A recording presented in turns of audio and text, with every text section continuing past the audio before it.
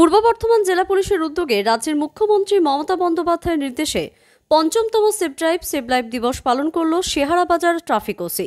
আজ এই বিশেষ দিবস উপলক্ষে রায়না থানা বাঁকুড়া মোড় থেকে খণ্ডঘোষ থানা বাদুলিয়া পর্যন্ত বর্ধমান আরামবাগ রোডে একটি বাইক র্যালি করা হয়। এই বিশেষ দিনে একই সঙ্গে সাধারণ মানুষের মধ্যে করোনা সম্পর্কিত সচেতনতা বৃদ্ধি করতে শেহারাবাজার ট্রাফিক ওসির পক্ষ থেকে মাস্ক এবং স্যানিটাইজার বিতরণ করা হয়। মাস্ক স্যানিটাইজার বিতরণের পাশাপাশি করোনা বিধি নিয়ে মানুষকে সচেতনও করা হয়।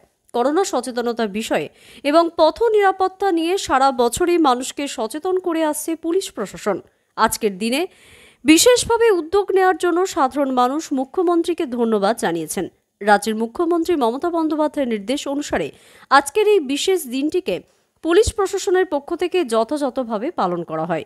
এদিনের এই কর্মসূচিতে উপস্থিত ছিলেন traffic inspector Dibakar Dutta, Seharabazar traffic গার্ডের ওসি উজ্জ্বল কুমার ঘোষ সহ অন্যান্য ট্রাফিক পুলিশ ও সিভিক ভলেন্টিয়ার থেকে এলাকার বিশিষ্ট সমাজসেবীরা। সেফ ড্রাইভ সেফ লাইফ প্রচারে সচেতনতা বাড়লে অনেক ক্ষেত্রেই দুর্ঘটনা এড়ানো যাবে বলে মনে করছেন সকলেই। কৃষ্ণ সাহার রিপোর্ট, প্রতিবাদী আওয়াজ।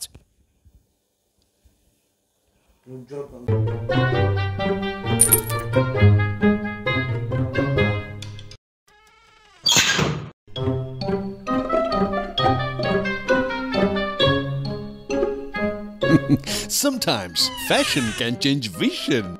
Malt Collection, jeans and t-shirts.